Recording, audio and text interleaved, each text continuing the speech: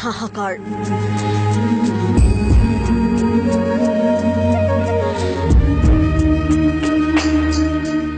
মাথো মানসিক অৱসাদত তেওঁলোক।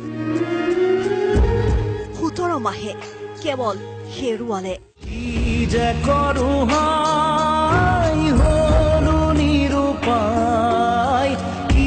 প্ৰাপ্তি বুলিবলৈ একোৱেই নাই কেৱল শূন্যতা। বুকুৰা মঠু বুকুতে শুকাই এইগৰাকী এগৰাকী মেধাৱী ছাত্ৰী হাইস্কুল শিক্ষান্ত পৰীক্ষা আৰু উচ্চতৰ মাধ্যমিকত ডিষ্টিংশ্যন নম্বৰ লৈ অঞ্চলটোলৈ গৌৰৱ কঢ়িয়াই আনিছিল এইগৰাকী মেধাৱী ছাত্ৰীয়ে। কিন্তু নাই অভাৱ অনাটন আৰু মানসিক ক্ৰিয়াত বৰ্তমান ভাগি পৰিছে এইগৰাকী মেধাৱী ছাত্ৰীয়ে।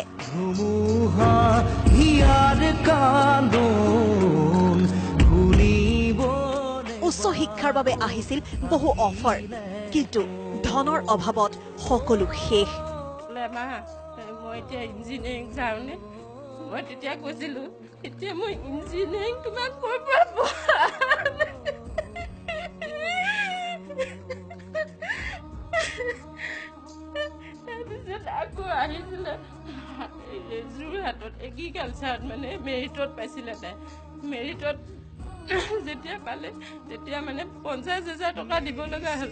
তেতিয়াও তাই কৈছিলে পঞ্চাছ হাজাৰ টকা যেতিয়া লাগে মই আৰু নপঢ়োঁ। তেতিয়া মানে মই সদায় বিচনাত বহি বহি বহি বহি কান্দিয়ে থাকোঁ। কান্দিজনী মই কিয় পঢ়াইছিলোঁ মই মাৰি নেপেলালোঁ কিয়? বহুত দুখ লাগিছিলে তেতিয়া।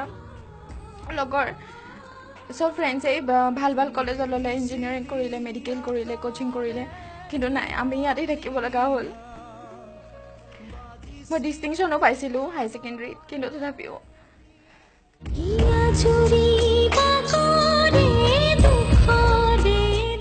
বহুতৰে পাকঘৰ খালী খাবলৈও একো নাই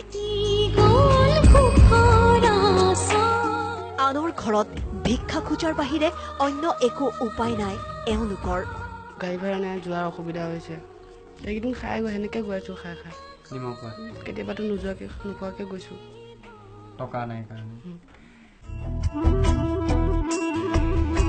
নিজৰ সপোনবোৰৰ সৈতে খোজত খোজ মিলাই আগুৱাব বিচাৰিলেও থমকি ৰবলগীয়া হৈছে এওঁলোকে। সুস্থ মগজুৰে চলিত এইচ এছ এল চি পৰীক্ষাৰ বাবে কোনো কোনোৱে এইদৰেই পৰীক্ষাৰ বাবে প্ৰস্তুতি চলালে যদিও অভাৱ অনাটন আৰু মানসিক ক্ৰিয়াত বিধ্বস্ত এওঁলোক। হৈছে বহুত হৈছে। এতিয়া মানে ল'ৰা ছোৱালী স্কুলৰে এতিয়া মানে এনেকুৱা হৈছে স্কুলৰ মা বেগটো বেয়া হৈছে তাৰ জোতাযোৰ বেয়া হৈছে। এতিয়া সেইখিনি আনি দিবলৈতো দে- দেউতাকৰতো সমৰ্থ হ'ব লাগিব ন বাৰু। এতিয়া মানে সেইটো নাই আমাৰ তেনেকুৱা বহুতেই মানে হৈছে।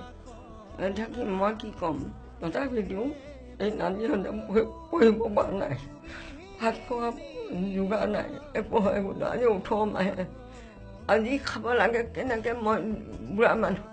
খাব লাগিছিল মই চাৰি সাঁজ খাইছোঁ মই এসাঁজ দুখৰ বিলাই এইটো হৈছে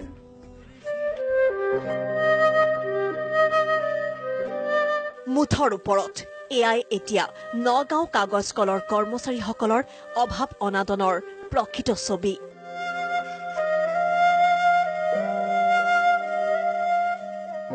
য'ত কৰ্মচাৰীসকলে সোতৰ মাহে কেৱল হেৰুৱালে আৰু হেৰুৱালে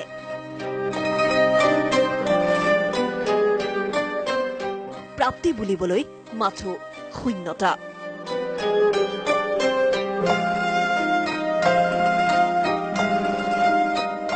ভিডিঅ' জাৰ্নেলিষ্ট ৰাতুলৰ সহযোগত প্ৰাঞ্জল প্ৰতিম হাজৰিকা আছাম টক্স